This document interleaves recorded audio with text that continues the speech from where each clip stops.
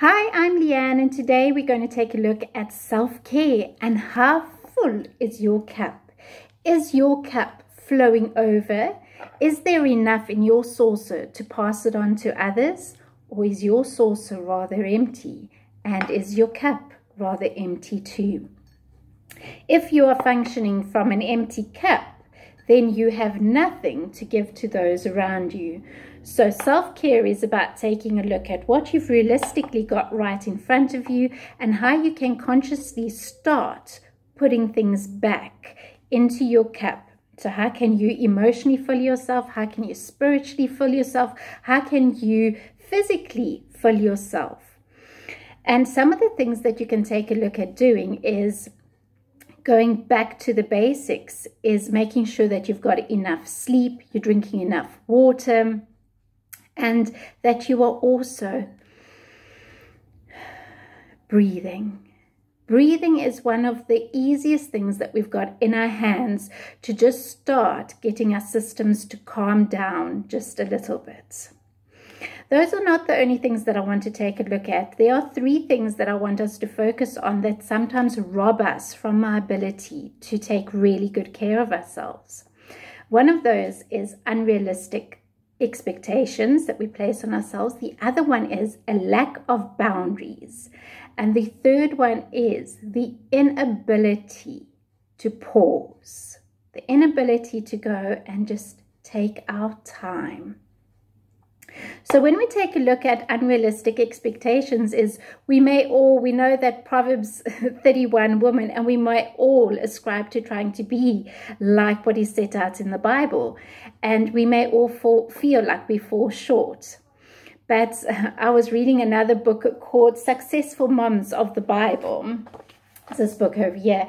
And in it, I got the chuckles in coming across a sentence that said, if the Proverbs 31 um, woman was a modern day woman, she would either be tired, mad, or dead by now if she tried doing all those things. And I thought it was, um, yeah, quite funny coming across that because reading it on a deeper level is one needs to reflect back on what was what the expectations were of that time. And if we try and apply everything to right now and compare to trying to do it in the level that it was done back then we may think that we need to be doing more. So we actually need to go and take a look at what are we comparing ourselves to? Who are we comparing ourselves to? And if we are comparing ourselves to all those around us we can be guaranteed that we are going to fall short so rather go and take a look at what what is it that you need in your cup? What was your cup made for? Was your cup made for soup? Was your cup made to hold the best cappuccino? What was your cup made for? And fill your cup accordingly to, to that, as we were all made for different things. If we take a look also of this cup, if this cup didn't have these firm sides, I couldn't put anything inside of it. So likewise with boundaries, we need secure boundaries so that we can hold things together. And that is where we keep ourselves safe from those things around us and where we can function in a healthy way. I came across this this um, quote on Facebook recently, and it went and said, "Boundaries is the distance at which I can love you and me simultaneously."